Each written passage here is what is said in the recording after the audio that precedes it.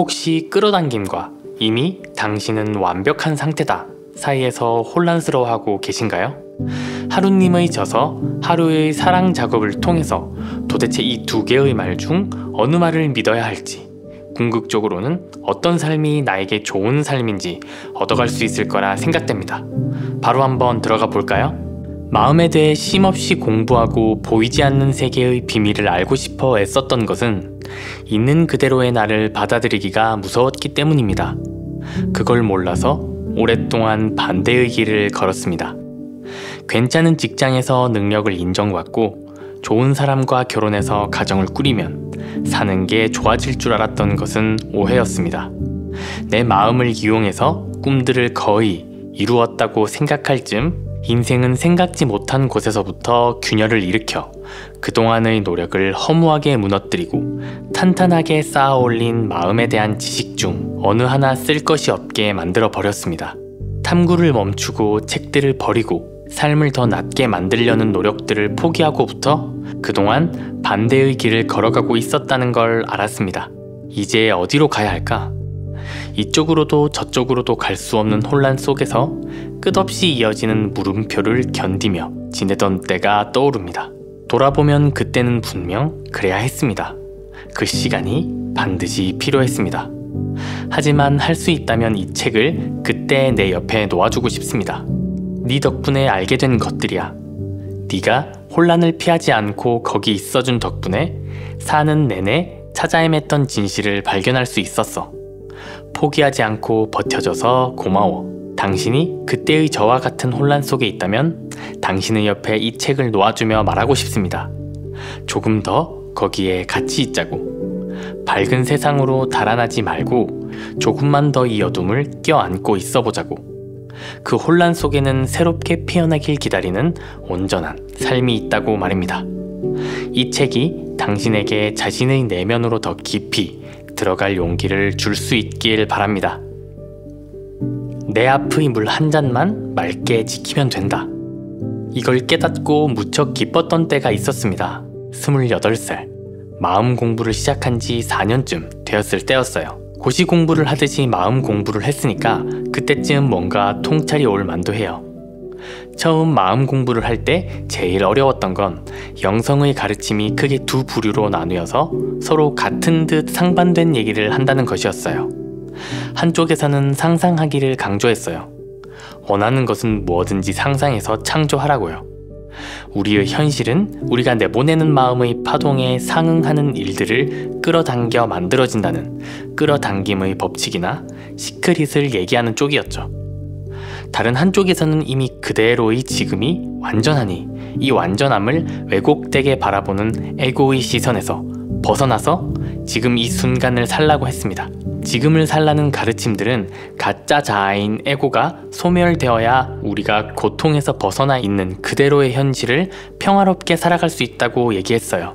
심지어 이 둘을 막 섞어 놓은 것 같은 이론도 많았어요. 지금 이대로를 받아들이는 동시에 원하는 것을 상상해서 창조하라고요. 이게 한 문장 안에 들어갈 수 있는 말인가? 너무 헷갈려서 각 분야 대표자가 한 면씩 나와서 서로 합의한 다음에 제대로 된 결론을 알려주면 좋겠다고 생각하기도 했어요. 그러던 어느 날 문득 이 둘이 같은 말인 걸 알게 되었어요. 영성의 모든 가르침은 지금 이대로 완전하다는 진실을 토대로 하고 있었어요. 지금 이 순간은 이미 완전한데 그걸 바라보는 내 눈의 필터가 현실을 왜곡되게 인식한다는 것이었죠. 상상하기를 강조하는 쪽에서는 이 왜곡된 인식을 버리고 이미 현실이 내가 바라보는 대로 완벽하다면 지금 어떤 시선으로 세상을 바라보고 있을지 상상하라고 하는 거였어요. 내가 문제라고 여기는 것들이 다 해결된 완벽한 마음 상태에서 지금 현실을 바라보면 이미 완전한 현실을 만날 수 있다는 것이었죠. 지금을 살라고 가르치는 쪽에서는 내 인식틀을 교정할 것도 없이 이 인식틀 자체가 가짜이니 그 마음을 완전히 버리라고 하는 거였어요. 문제를 바라보는 자아를 버리면 이미 완전한 현실을 만날 수 있다는 것이었죠. 지금 이대로 완전하구나. 현실을 바라보는 내 눈만 바로잡으면 되는 거구나. 그러면 나는 이미 완전하다는 파동에 조율되고 끌어당김의 법칙에 따라 계속해서 이 완전함을 창조할 수 있게 되겠구나. 이것은 마치 완전한 현실과 나 사이에 물 한 잔이 놓여 있는 것과 같은 모습이었습니다. 이 물잔에 맑은 물이 담기면 현실의 완전함을 만나게 되고 흙탕물이 담기면 현실을 진흙탕 같은 것으로 인식하게 되어 그런 파동의 현실을 끌어온다는 것이었죠. 그렇다면 내가 할 일은 오직 하나, 내 앞의 물 한 잔만 책임지면 되는 거였어요. 내 앞에 있는 물 한 잔에 맑은 물을 담거나 이 물잔을 치워버리거나 둘 중에 뭘 하든 이 물잔이라는 인식 필터를 완전함에 조율하기만 하면 나는 이미 완전한 현실을 만날 수 있는 거죠. 저는 물잔에 맑은 물을 담는 게 물잔을 치우는 것보다 쉽다고 생각했어요. 솔직히 말하면 있는 그대로의 현실이 너무 마음에 들지 않았기 때문에 내 현실이 진흙탕이라는 생각을 물잔 치우듯이 치워버리는 건 불가능했어요. 그래서 상상하기와 긍정적인 생각하기로 항상 물잔을 맑은 물로 채우는 데 집중했습니다. 내가 바라는 것들이 이루어진다면 이 현실이 어떻게 보일까? 내가 느끼는 문제들이 모두 사라진다면 지금 나는 이 현실을 어떻게 느끼면서 살고 있을까? 그것을 상상하고 그 마음으로 현재를 살려고 노력했어요. 늘 긍정적으로 생각하고 나 자신에 대한 높은 관념을 가지고 지금 이미 완전한 현실을 바라보려고 애썼죠. 항상 마음을 내가 원하는 상태로 만들고 결핍에서 초점을 거두어 완전한 지금을 살아간다는 건 재미있는 일이었어요. 내 결핍들을 하나씩 지워나가고 설레는 일들을 상상하며 이미 그런 듯이 느끼기만 하면 된다니 어릴 적 꿈꾸던 세계를 만난 것 같았죠. 처음에는 이 작업이 꽤 잘 됐어요. 현실에 어떤 문제가 생겼을 땐 그 문제가 사라진 상태의 내 마음을 상상하고 그 마음을 유지하며 살았어요.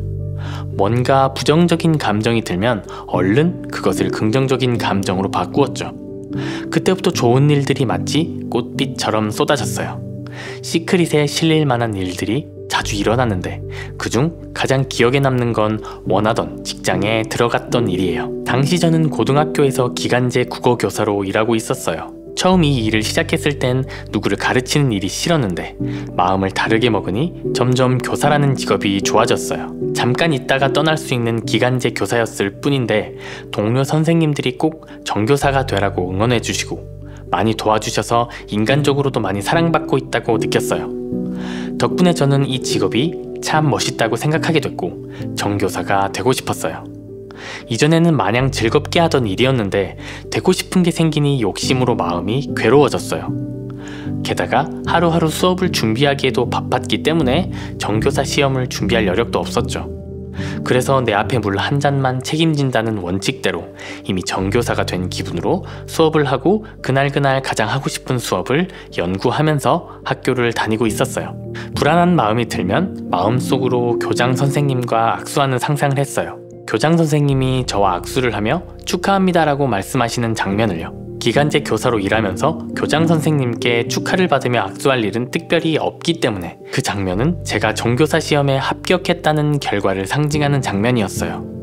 그렇게 상상을 하며 마음을 달래고 나면 미래에 대한 불안감이 없이 그날그날 즐거움 속에서 살 수 있었어요. 그러다 막상 이 학교의 정교사 시험을 볼 때가 되니 떨어질까봐 겁이 났어요.